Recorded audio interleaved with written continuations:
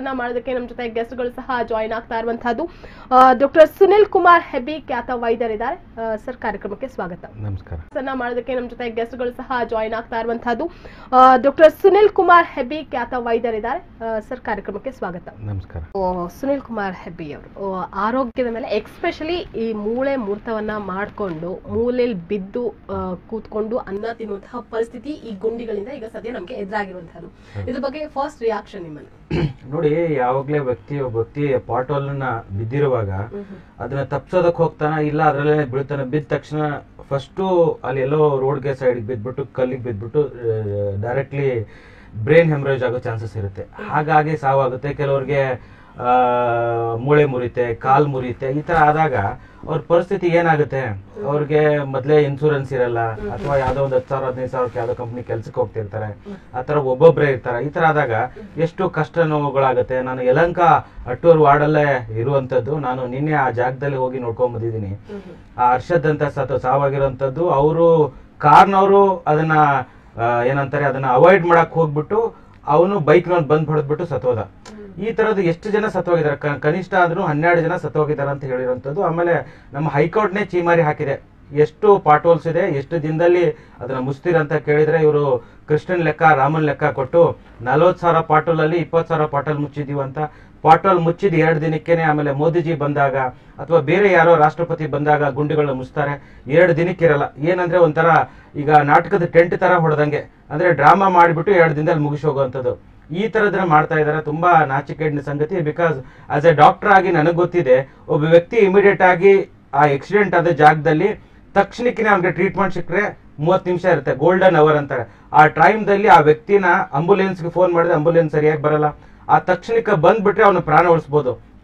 But ದುರಾದೃಷ್ಟ ಅಂದ್ರೇನೆ, ಜನ ಏನಾಗ್ಬಿಡುತ್ತೆ panic ಆಗ್ಬಿಡ್ತಾರೆ, ಆಮೇಲೆ ಆ ತಕ್ಷಣಕ್ಕೆ ಆಂಬುಲೆನ್ಸ್ ಬರಲ್ಲ ಅಥವಾ ಫಸ್ಟ್ ಏಡ್ ಸಿಗಲ್ಲ. ಈ ಕಾರಣಗಳಿಂದ ಈ ತರ ಆಗ್ತಾ ಇದೆ. ತುಂಬಾ ನಾಚಿಕೆಡಿನ ಸಂಗತಿ ಆಸ್ ಅ ರೆಸ್ಪಾನ್ಸಿಬಲ್ ಡಾಕ್ಟರ್ ಆಗಿ ಆಸ್ ಅ ರೆಸ್ಪಾನ್ಸಿಬಲ್ ಸಿಟಿಸನ್ ಆಗಿ.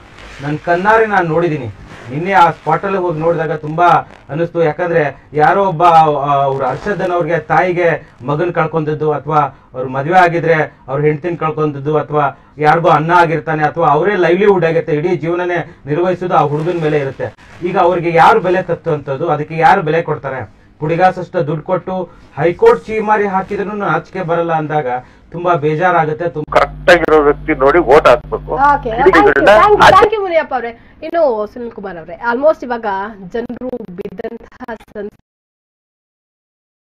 ಸ್ಪೈನಲ್ ಕಾರ್ಡ್ ಇರಬಹುದು ಬೇರೆ ಎಲ್ಲಾದ್ರೂ ಮೂಳೆ ಮುರಿದೆ ಈ ಇಂತಹವ್ರಿಗೆ ಜಾಗೃತರಾಗಿರೋದಕ್ಕೆ ನೀವು ಯಾವ ರೀತಿ ಸಲಹೆ ಈಗ ಸೊಲ್ಯೂಷನ್ ಏನಂದ್ರೆ ಡಾಕ್ಟರ್ ಬಿದ್ಮೇಲೆ ಏನ್ ಮಾಡ್ಕೋಬೇಕು ಅನ್ನೋದಕ್ಕೆ ನಾವು ಕೇಳ್ತಾ ಇದ್ವಿ. ಬೀಳೋಕ್ ಮುಂಚೆ ಬೀಳೋದಕ್ಕೆ ಏನ್ ಮಾಡ್ಬೇಕಲ್ಲ ಸೊಲ್ಯೂಷನ್ ಬದಲಾಗಿದೆ.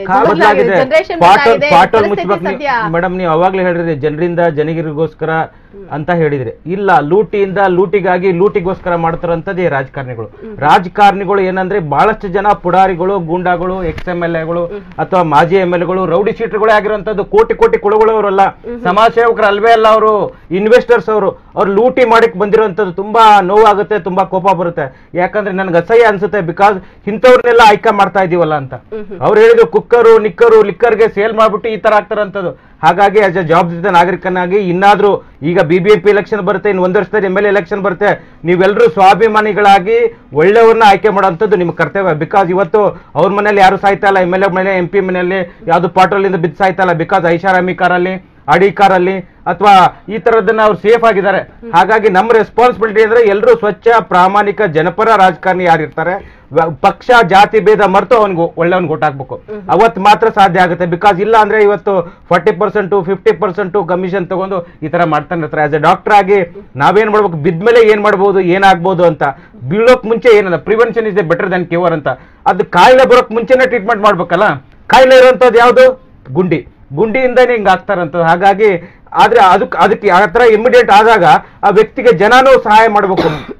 ಸ್ಪಾಟಲ್ಲಿ ಬಿದ್ದಿರುವಾಗ ಗೋಲ್ಡನ್ ಅವರ್ ಅಂತೀವಿ. ಆ ಮೂವತ್ತು ನಿಮಿಷ ಇರುತ್ತಲ್ಲ, ಬಿದ್ದ ತಕ್ಷಣ ಹೆಡ್ ಇಂಜುರಿ ಆದಾಗ ತಕ್ಷಣ ಆಂಬುಲೆನ್ಸ್ ಫೋನ್ ಮಾಡಿ ಶಿಫ್ಟ್ ಮಾಡ್ಬಿಟ್ರೆ ಅರ್ಧ ಗಂಟೆಯಲ್ಲಿ ಅವ್ನ ಪ್ರಾಣ ಉಳಿಯುತ್ತೆ. ತಕ್ಷಣ ಫಸ್ಟ್ ಏಡ್ ಮಾಡುವಂಥದ್ದು. ನಾವು ಜವಾಬ್ದಾರಿ ನಾಗರಿಕಾಗಿ ನಮ್ ನಮ್ನ ಕೆಲಸ ಮಾಡ್ಬೋದು ಬಟ್ ಬೀಳಕ್ ಮುಂಚೆ ಏನ್ ಮಾಡ್ಬೇಕು ಅನ್ನೋದೇ ಬಹಳ ಇಂಪಾರ್ಟೆಂಟ್ ಆಗುತ್ತೆ. ಓಕೆ ಇನ್ನು ಕೊನೆಯದಾಗಿ ನೀವೇನ್ ಹೇಳ್ತೀರಾ ನಾನು ಇವಾಗ ಡಾಕ್ಟರ್ ಹೇಳಿರೋದಕ್ಕೆ ಎಂಡಾರ್ಸ್ ಮಾಡ್ತೀನಿ. ಯಾಕೆಂದರೆ ಇವತ್ತಿನ ದಿವಸ ಮೌಲ್ಯಾಧಾರಿತ ರಾಜಕಾರಣ ಬರಬೇಕು. ಇವತ್ತಿನ ದಿವಸ